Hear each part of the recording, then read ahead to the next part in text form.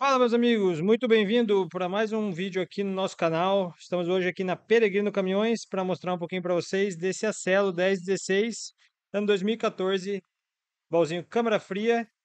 Sou o Juliano do Venda Truck. Muito bem-vindo você que está sempre por aqui. Vídeos novos todos os dias às 19 horas, então não perca os vídeos, que além dos vídeos de venda, a gente faz vídeos aí mostrando algumas coisas aí do dia a dia do caminhoneiro para aprender mesmo. Então, vamos lá. Caixa de ferramenta, já puderam ver aí que tem é, porta lateral no, no baú câmara fria. Aqui estamos falando de um caminhão único dono, tá? Caminhão muito selado. Já conta aí com as barras de proteção laterais, né? Obrigatórias para o ano. É...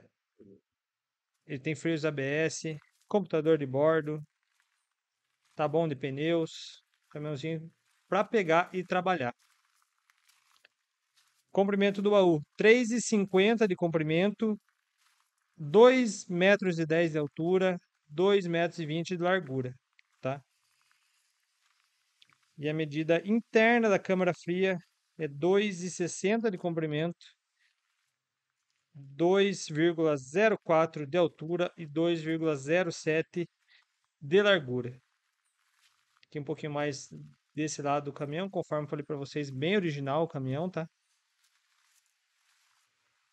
E o sistema de câmara fria dele é um Thermostar menos 15 graus. Em ordem o baú também. Vamos mostrar um pouquinho da parte interna para vocês. Olha só, partes plásticas tudo em ordem. Caminhão com por volta de 280 mil quilômetros originais, disponível na Peregrino Caminhões. Gostou do caminhão? Contato do Bruno na tela ou na descrição do vídeo. Só clicar no link da descrição vai cair diretamente para o Bruno da Peregrino. Fala que veio aqui no Venda Truck para dar aquela moral para gente. E tá aí mais uma oportunidade. Esse caminhão para 195 mil disponível para venda. Já se inscreve no canal, obrigado por acompanhar e até a próxima.